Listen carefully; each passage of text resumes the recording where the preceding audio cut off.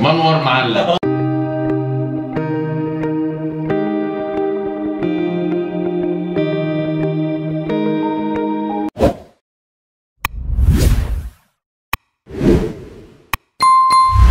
برضو المنور ده هنا لازم يتعزل الشغل. 131 أثناء الشغل. تمام. ده لازم يدين عشان ما ينقلش الرطوبة والصدى من هنا وإحنا قلنا 100 مرة للناس. حديد السقف ما يطلعش ويتقفل بيه المنور.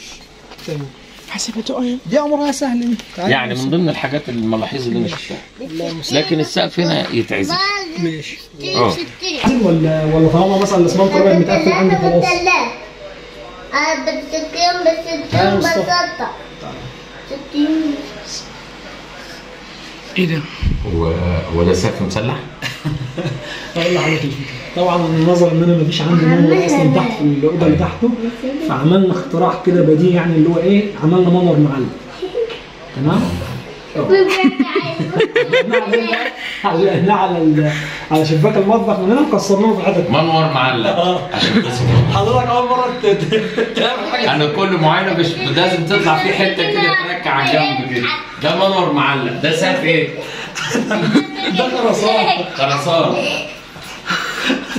يعني انت بقى السقف ده كمان بتطلع تشيل منه المية. لا.